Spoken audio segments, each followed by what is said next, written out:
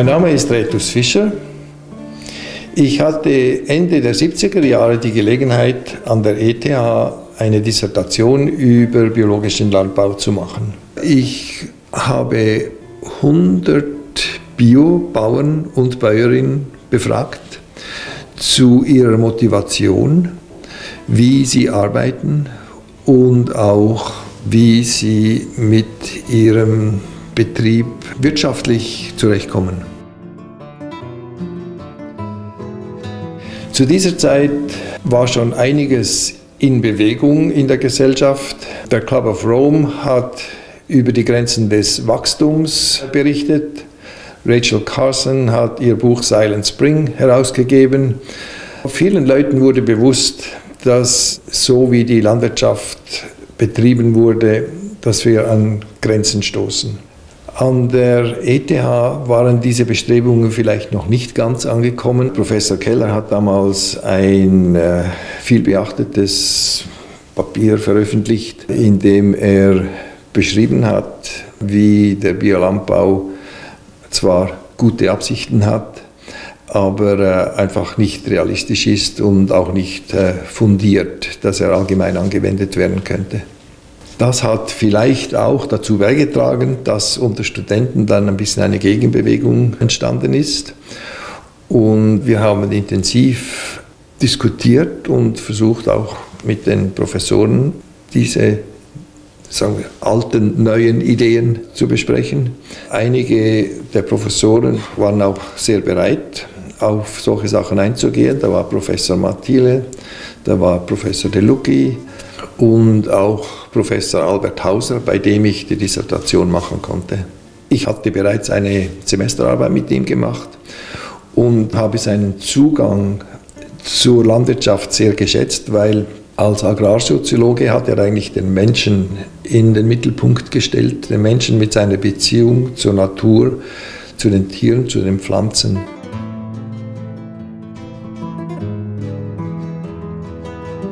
Es haben sich einige Grundelemente herauskristallisiert aus all diesen Interviews. Einerseits die Beweggründe, warum die Bauern äh, überhaupt biologisch arbeiten. Da gab es eigentlich zwei Grundkategorien. Die eine waren Bauern, die gar nie wirklich den Schritt zur nicht biologischen Landwirtschaft gemacht hatten. Also zur Chemie, zu Kunstdünger und so weiter und die eigentlich fast natürlich in, die, in den Biolandbau reingewachsen sind. Dann war da die andere Gruppe, die die Chemisierung der Landwirtschaft in den 60er Jahren intensiv mitgemacht hat und auch an die Grenzen dieser Methoden kam. Viele haben berichtet über Gesundheitsprobleme, einerseits persönlich in der Familie, die sie oft dem Gebrauch der Chemikalien zuschrieben. Andererseits auch Probleme im Stall mit der Tiergesundheit und auch im Pflanzenbau, dass äh, zum Teil Misserfolge passiert sind. Damals war man auch noch nicht so kritisch mit äh, Chemieanwendungen. Eine andere wichtige Gruppe von Bauern, die zum Biolandbau kam, war aus mehr philosophischen Gründen. Viele biodynamischen Bauern haben sich intensiv beschäftigt mit äh, Rudolf Steiner und seinen Lehren, die weit über die Landwirtschaft hinausgehen. Eine große Gruppe der Bauern waren Anhänger von äh, Dr. Müller, der ja eigentlich auch eine starke politische Präsenz gehabt hat und der Biolandbau eigentlich eher sekundär Teil der Bewegung geworden ist.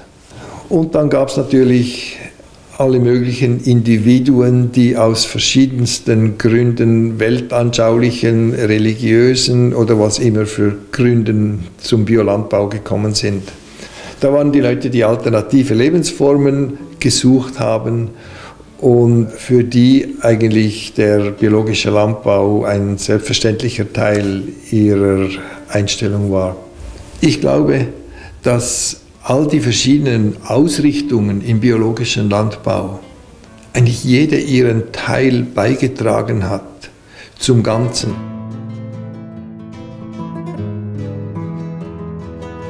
Ich möchte auch die Rolle der Bauernfrauen besonders erwähnen, weil sehr oft haben die Frauen im Bauerngarten zuerst biologisch gearbeitet. Und nach und nach haben dann auch die Männer realisiert, dass diese Methoden funktionieren und sie auch im größten Stil angewendet werden könnten.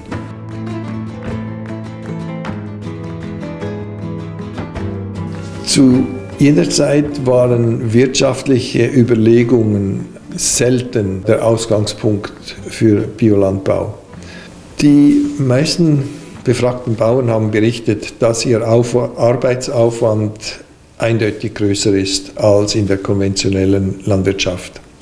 Andererseits war ihr Aufwand an Chemikalien, Pestiziden und so weiter äh, wesentlich kleiner und oft wurde auch berichtet, dass sie im Stall wesentlich weniger Gesundheitsprobleme hatten, dass die Kühe besser fruchtbar sind und so weiter.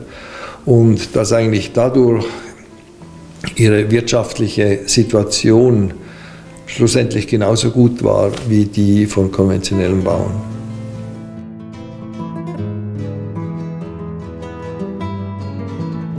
Von wissenschaftlicher Seite her haben damals die Biobauern eigentlich nicht viel Information erhalten. Aber untereinander und innerhalb ihrer Organisationen haben sie intensiven Austausch gepflegt, haben sich gegenseitig besucht, haben Kurse gemacht und so weiter.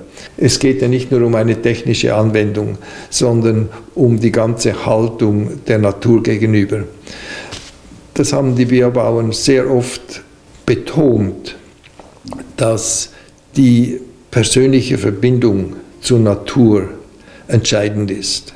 Dass es nicht nur darum geht, um technisches Wissen zu haben, sondern persönlich das Gefühl und den Respekt äh, für die Natur zu entwickeln. Und dass eigentlich diese große Aufmerksamkeit und Beobachtungsgabe das Zentrum ihrer Arbeit ist.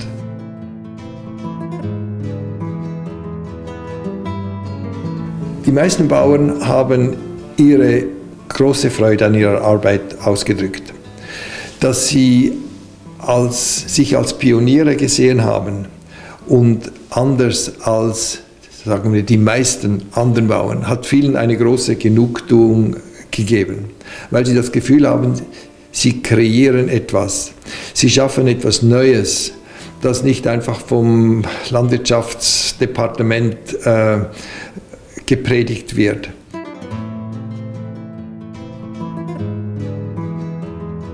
Dadurch, dass ich das Thema Biolandbau vom soziologischen Standpunkt her und nicht vom naturwissenschaftlichen Standpunkt her angegangen bin, war sie auch nicht so den damals üblichen Argumenten gegen den Biolandbau ausgesetzt. Ich konnte ja einfach zeigen, das ist das, was die Bauern machen, das ist, was für sie funktioniert und das kann man nicht wegdiskutieren.